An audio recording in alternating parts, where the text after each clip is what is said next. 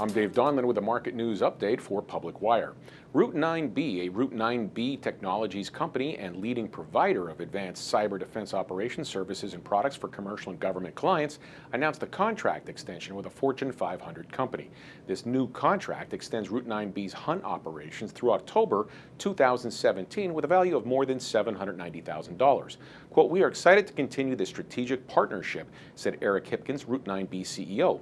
Our team continues to prove that the manned information security approach combined with our advanced Hunt platform has reshaped the cybersecurity industry.